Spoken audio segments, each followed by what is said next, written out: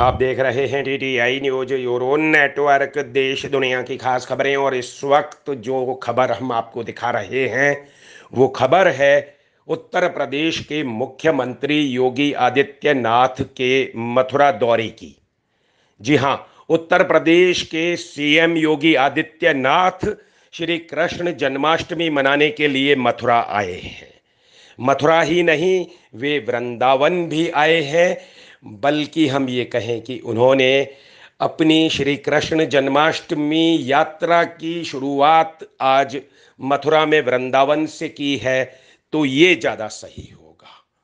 जी हाँ इन दृश्यों में आप देख सकते हैं कि मुख्यमंत्री योगी आदित्यनाथ वृंदावन पहुँचे हुए हैं और वृंदावन पहुंचकर उन्होंने अन्नपूर्णा रसोई का शुभारंभ किया है।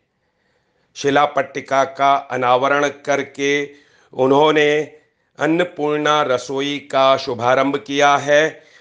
और हम आपको बताएँ कि मुख्यमंत्री योगी आदित्यनाथ वृंदावन के बाद मथुरा भी आने वाले हैं। और मथुरा में वे श्री कृष्ण जन्म स्थान पर आकर विशेष पूजा अर्चना करने वाले हैं। और उत्तर प्रदेश ब्रज तीर्थ विकास परिषद द्वारा विभिन्न स्थानों पर आयोजित कराए जा रहे सांस्कृतिक कार्यक्रमों को देखने के लिए भी सीएम योगी आदित्यनाथ मथुरा पहुँचेंगे। अन्नपूर्णा स्थल सबसे पहले पहुँचे वृंदावन मुख्यमंत्री योगी आदित्यनाथ। अन्नपूर्णा रसोई का उनके द्वारा उद्घाटन किया गया और इस अवसर पर सदगुरुदेव भगवान कार्षणी गुरु श्री शरणानंद जी महाराज, साध्वी रितंभरा, संत विजय कौशल जी महाराज और आचार्य बाल कृष्ण के अलावा उत्तर प्रदेश सरकार के कैबिनेट मिनिस्टर लक्ष्मी नारायण चौधरी भी उनके साथ दिखाई दे रहे हैं।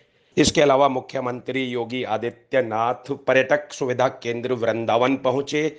जहाँ उनके द्वारा पाँच इलेक्ट्रिक बसों को हरी झंडी दिखाकर रवाना किया गया।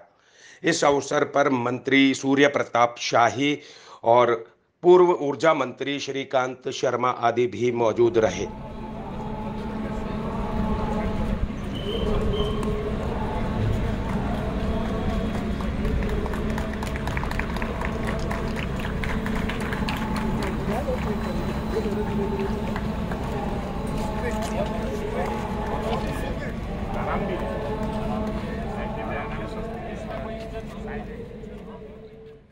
तो इस तरह से आपने देखा कि उत्तर प्रदेश के मुख्यमंत्री योगी आदित्यनाथ मथुरा दौरे पर हैं और मथुरा दौरे का उन्होंने शुभारंभ वृंदावन से किया है।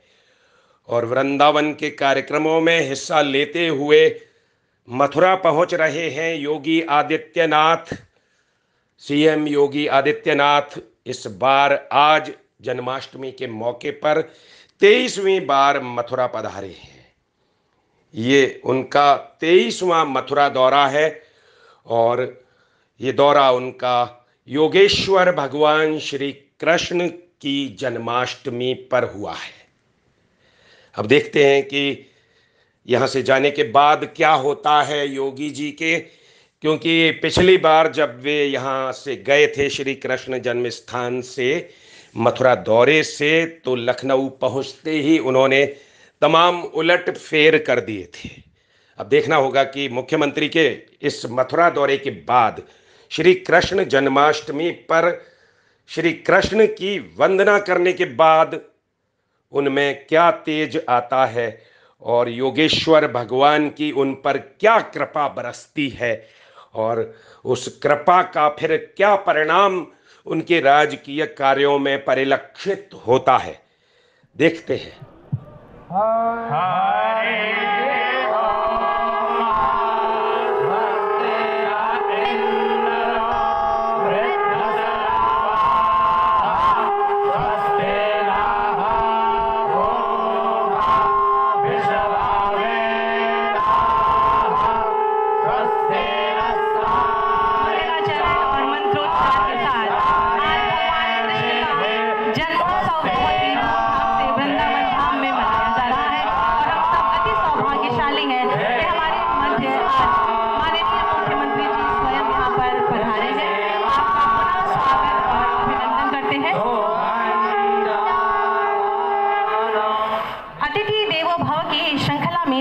सर्वप्रथम मैं निवेदन करूँगी कि माननीय मुख्यमंत्री जी का स्वागत और अभिनंदन श्री रमेश अग्रवाल एवं श्री पद्मेश गुप्ता जी अपने कर कमलों के माध्यम से करें। कृपया स्वागत की यह प्रक्रिया शीघ्रता से संपन्न कराई जाए। माननीय मुख्यमंत्री जी का स्वागत, अभिनंदन श्री रमेश अग्रवाल जी एवं श्री पद्मेश गुप्ता जी।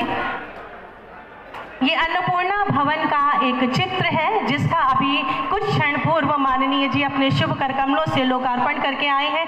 आप सभी की जोरदार तालियाँ, अंग, वस्त्र। स्वागत, अभिनंदन। पूज्य विजय कौशल महाराज जी का स्वागत श्री घनश्याम अग्रवाल जी एवं श्री महावीर मंगल जी।